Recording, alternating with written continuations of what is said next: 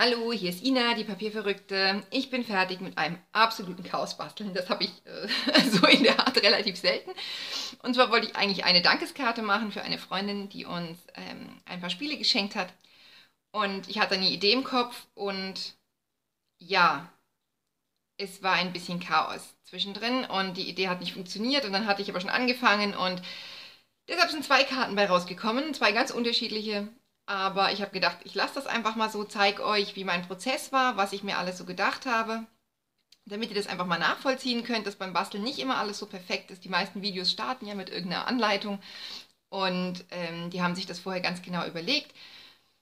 Wie gesagt, ich hatte es mir nicht, also ich hatte mir was überlegt, aber es ist schief gegangen, aber ich wollte euch das trotzdem einfach mal zeigen.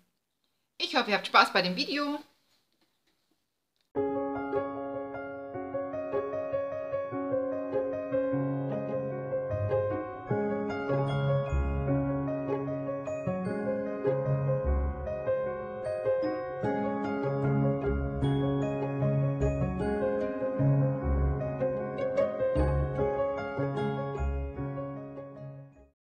Für diese schnelle Kartenidee braucht ihr irgendeine Standsgrundform. Also es gehen bestimmt auch Blumen oder sowas, kann man bestimmt auch schöne Sachen mitmachen. Ich habe mich jetzt für ein Sechseck entschieden. Und da stanze ich mir jetzt erstmal drei Gucklöcher aus. Und weil leider beim Big Shotten, äh, beim Ausstanzen bei mir alles wackelt, schalte ich euch aus und zeige es euch nachher, wie es aussieht. So, ich habe mir das zwischendrin nochmal anders überlegt. Ich wollte ja eigentlich drei so, also zwei untereinander und eins versetzt und da den Spruch hinstempeln. Jetzt kam mir beim Ausstanzen die Idee, dass ich ja den Spruch auch hier drauf stempeln kann und dann ähm, das mit einem Dimensional so hochpoppen kann. Deshalb jetzt so.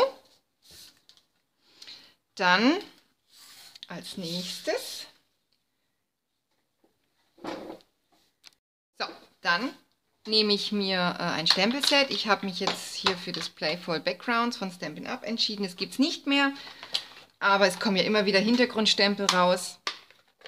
Das äh, ist ja kein Thema. Und dann stempel ich einfach das Ganze noch ein bisschen attraktiver. Das ist nicht ganz so leer wirkt.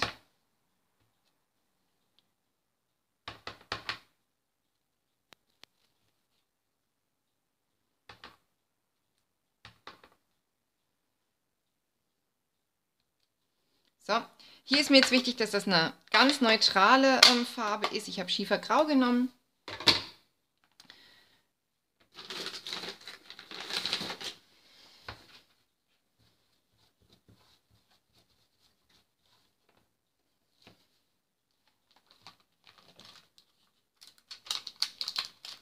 So. Dann habe ich meine Kartenbasis. Und die Gucklöcher will ich jetzt von innen verkleiden sozusagen.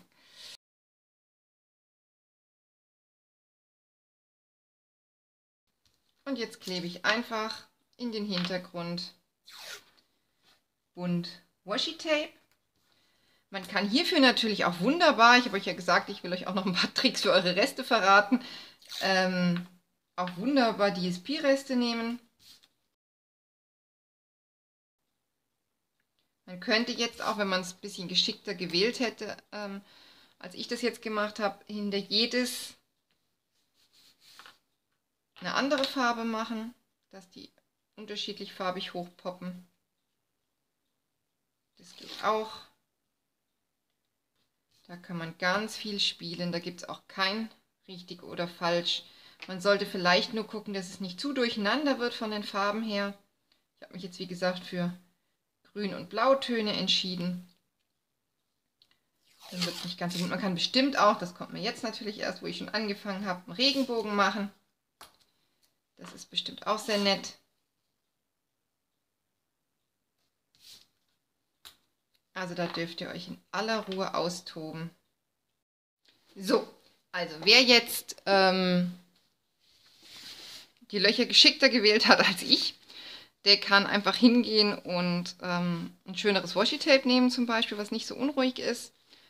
Und das dann damit machen zum Beispiel. Oder was mir auch noch eingefallen ist, wodurch es auch ein bisschen ruhiger werden könnte, ist, wenn ich zum Beispiel Marineblau, also was ich hier schon drin habe als Ton, nochmal als Rahmen nehme. Das wäre auch noch eine Möglichkeit.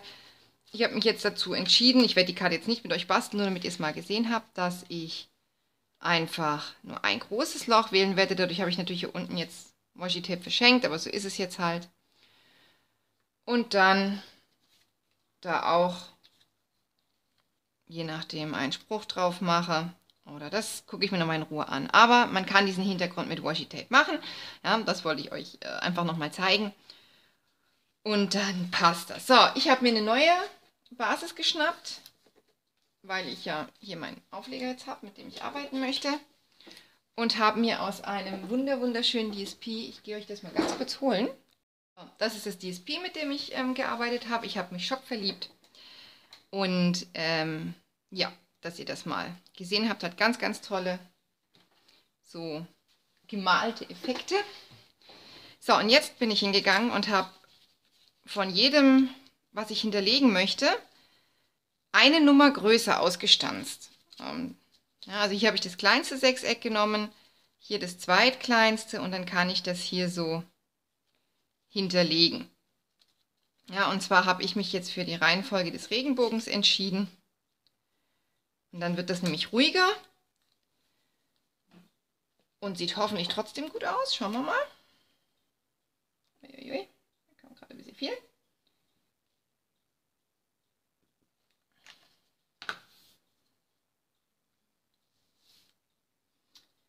Ja, man sollte vielleicht die Silikonmatte nehmen, wenn man sowas macht.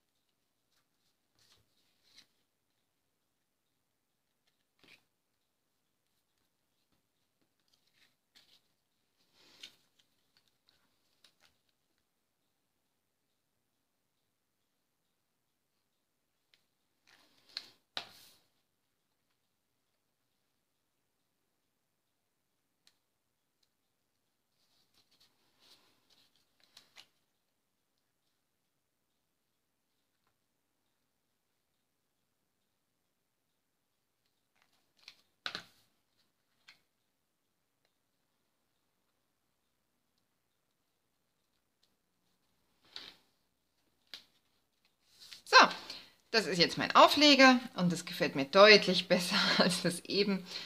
Ähm, auch hier merke ich gerade, wäre es aber vielleicht gar nicht so schlecht, den, das gestempelte dunkler zu machen, ein bisschen intensiver, weil es vom DSP hier, da müsst ihr halt vielleicht einfach euch vorher genauer überlegen, was ihr macht. Nicht wie ich drauf losbasteln. Aber es geht hier ja um die Idee, die ich euch zeigen wollte.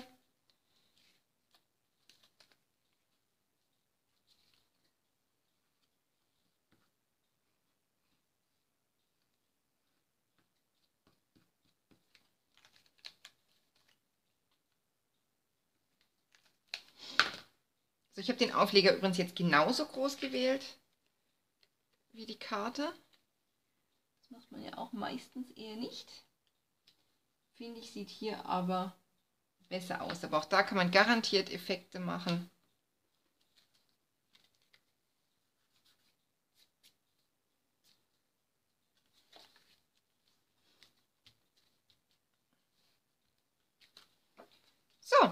Und dann würde ich jetzt noch einen Spruch stempeln.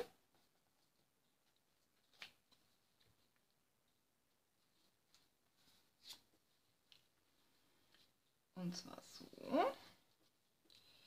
Da muss ich mir jetzt noch überlegen, was. Ich habe mir das hier rausgesucht. Auch ein uraltes ähm, ähm, Set von Stampin' Up. Irgendwo. Also ich mische immer, damit ich nicht so viel Platz habe. Es sind zwei verschiedene. Ich will das ganz lieben Dank haben. Das passt hier nämlich perfekt rein.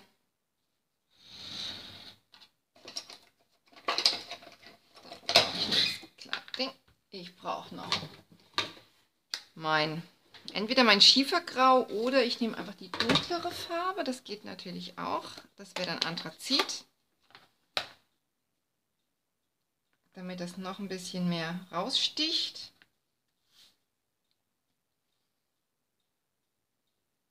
Hoffe, dass es halbwegs gerade ist. Das sieht sehr gut aus. Normalerweise ist es ja so, dass wenn man filmt, es schief geht.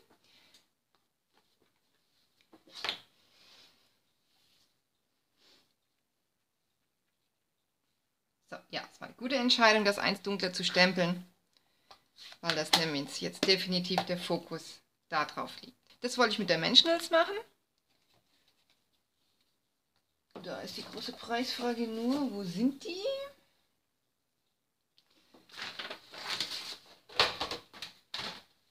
Ach ja, ach ja, ach ja. Das ist, wenn man nicht direkt wieder richtig aufräumt. Doch, sie sind da, sie sind nur verstellt. Das gibt es auch.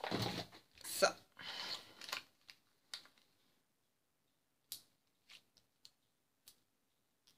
So, ich denke drei Stück reichen da gut.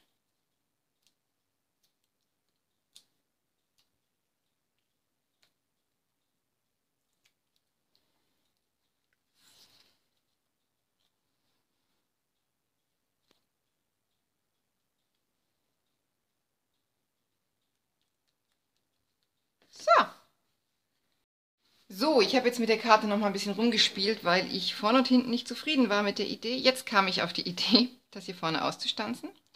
Es ist leider ein bisschen schief geworden, aber das ist nicht schlimm, weil mittlerweile weiß ich, für wen ich es mache und was ich draus mache. Und wie gesagt, es gibt Menschen, für die muss man perfekt arbeiten und es gibt Menschen, die freuen sich, wenn sie was Selbstgemachtes kriegen und es gerade nicht perfekt ist. So, ich habe mir jetzt noch einen schönen Spruch ausgesucht.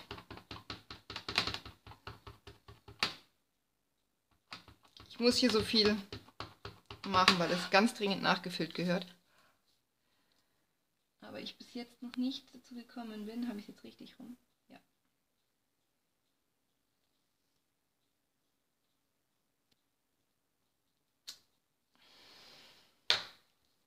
So, passt wunderbar. Gerade Marineblau sollte man immer zumachen, wenn man es nicht braucht. Ganz wichtiger Tipp. Weil ich weiß nicht, irgendwie hat Marineblau die Angewohnheit, bei mir überall zu landen. So, damit wäre die Karte fertig. Damit wäre das eine super, super, super schnelle